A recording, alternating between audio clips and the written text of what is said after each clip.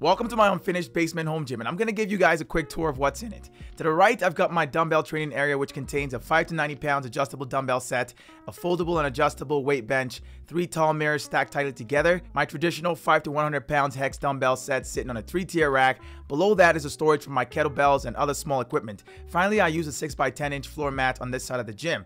To the left, I've got my weight training area. On this side, I've got my all-in-one home gym equipment with attachments, weight plates, and a barbell stored right on it. Another barbell and an EZ bar laying on the ground, and right next to those, I've got an adjustable weight bench with a leg hook. To close off the space, I've got a couple of IKEA shelves, which also double as storage for my lifting shoes, protective gear, and other random stuff. Finally, I've used interlocking rubber tiles for the flooring on this side, and that's pretty much everything.